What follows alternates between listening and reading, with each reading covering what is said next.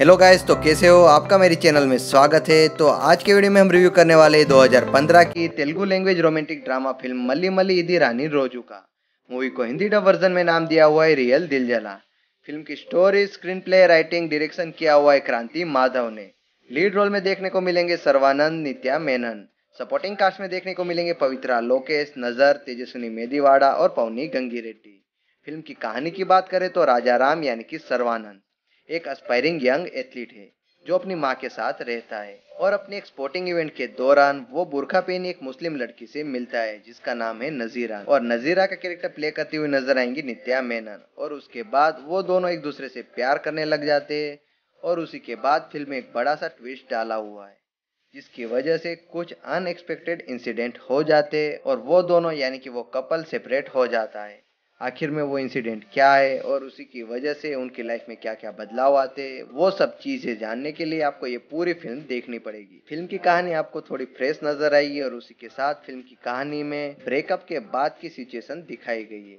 Film में mature relationship को बढ़िया तरीके से हमारे सामने कवर करके दिखाया हुआ है। सर्वानंद जो फ़िल्म के लीड एक्टर है, एक बार फिर अपनी एक्टिंग एबिलिटी प्रूव करते हुए नज़र आते हैं। फ़िल्म में अपने किरदार को उन्होंने मेच्योर तरीके से निभाया हुआ है। जिस तरह से उन्होंने एक एंटरटेनिंग और लवेबल किरदार प्ले किया हुआ है और उसी के साथ अपने रोल में वो जिस तरह से इमोशन क्रिएट करते, यानी कि जो इमोशनल सीन्स दिखाए गए, वो उसमें बढ़िया तरीके से अपना काम दिखाने में कामयाब रहे। और खास करके उनके माँ के और उनके बीच के जो सीन क्रिएट हुए, जो इमोशनल सीन क्रिएट किए गए, वो काफ़ी बढ़िया तरीके से हैंडल किए हुए, जिसकी वजह से वो सभी इमोशनल सीन बढ़िया तरीके से हमें टच कर जाते हैं। नित्या मेनन, जो फ़िल्म की लीड एक्ट्रेस है, उन्होंने फ़िल्म में बढ़िया सा परफॉर्मेंस दिया हुआ है। पूरी फ़िल्म में वो छा गई है।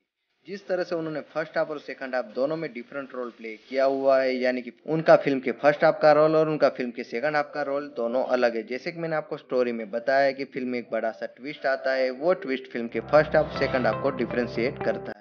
जिसकी वजह से फ़िल्म में नित्या मेनन के पास काफ़ी स्कोप था कुछ कर दिखाने को और, और उन्होंने उस मौके को बखूबी निभाया हुआ है। और जिस तरह से उन्होंने फ़िल्म के फ़र्स्ट हाफ़ और सेकंड हाफ़ में अपना काम दिखाया हुआ है उन्होंने अपनी एक्टिंग एबिलिटी प्रूव की हुई है वो काफ़ी काबिल तारीफ़ है। फ़िल्म के सभी रोमांटिक सीन जो लीड पेयर यानी कि नित्या मेनन और सर्वानंद के बीच में क्रिएट किए गए वो बढ़िया तरीके से डायरेक्टर ने एग्जीक्यूट किए हुए उन दोनों के बीच की केमिस्ट्री भी बढ़िया ज़बरदस्त नज़र आती है। और उनके बीच की एक केमिस्ट्री फ़िल्म का मेजर अट्रैक्शन था।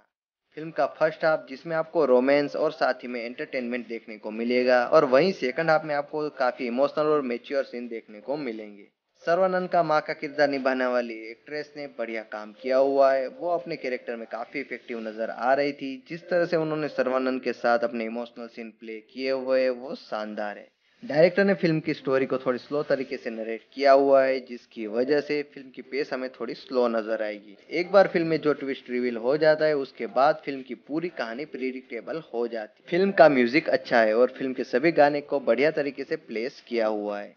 फ़िल्म का बैकग्राउंड म्यूज़िक डिसेंट है सिनेमेटोग्राफी एक्सीलेंट है और साथ ही में एडिटिंग भी डिसेंट है, क्योंकि फ़िल्म के सेकंड हाफ़ में थोड़े बहुत सीन कट किए जा सकते थे। फ़िल्म के डायरेक्टर यानी कि क्रांति माधव, उन्होंने फ़िल्म के साथ काफ़ी बढ़िया काम किया हुआ है। जिस तरह से उन्होंने स्टोरी लाइन हमारे सामने पेश की हुई है, जिस तरह से उन्होंने उस स्टोरी को नेरेट किया हुआ है, वो काफ़ी काबिल तारीफ़ है। उनके डायरेक्शन की काफ़ी तारीफ़ करनी पड़ेगी, क्योंकि उन्होंने सभी लवेबल सीन और साथ ही में रोमांस और उसी के साथ सभी इमोशनल सीन्स को बढ़िया तरीके से सुपर तरीके से हमारे सामने एग्जीक्यूट करके दिखाया हुआ है। उन्होंने हिंदू और मुस्लिम की लव स्टोरी को बढ़िया तरीके से शोकेश करके हमारे सामने पेश किया हुआ है। तो कुल मिला के बात करें तो 2015 की Telugu romantic drama film Malli Malli Idi Rani Roju, यानी कि रियल दिल जला, एक फील गुड लव स्टोरी वाली फ़िल्म है। तो मैं इस फ़िल्म को पाँच में से तीन पॉइंट पाँच स्टार की रेटिंग देता हूँ।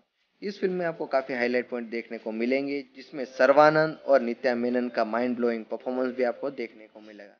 वो दोनों मिलके फ़िल्म को बढ़िया तरीके से हैंडल कर लेते हैं और साथ ही में क्रांति माधव का ज़बरदस्त डायरेक्शन और उसी के साथ उनके डायरेक्शन में क्रिएट किए हुए इमोशनल सीन जो बढ़िया तरीके से हमारे सामने एग्जीक्यूट करके डाले हुए और फ़िल्म की लव स्टोरी थोड़ी फ्रेश नज़र आएगी जिसकी वजह से आपको फ़िल्म देखने में मज़ा आएगा। ओवरऑल तो ये एक अच्छी फ़िल्म है। अगर आपको लव स्टोरी वाली फ़िल्म देखना पसंद है तो ये फ़िल्म आपको ज़रूर पसंद आएगी। ये फ़िल्म मैं आपको ज़रूर रिकमेंड करूँगा। आप, आपको ये फ़िल्म ज़रूर देखनी चाहिए। तो बस आज के रिव्यू में इतना ही था। तो आज का हमारा ये रिव्यू आपको कैसा लगा? अगर आप ये मूवी देखते हो तो मूवी देखने के बाद हमें कमेंट करो कि आपको ये मूवी कैसी लगी। तो और भी ऐसे नए साउथ इंडियन मूवी के हिंदी रिव्यू के लिए हमारे वीडियो को लाइक शेयर कमेंट और चैनल को सब्सक्राइब करना ना भूलिएगा। Thank you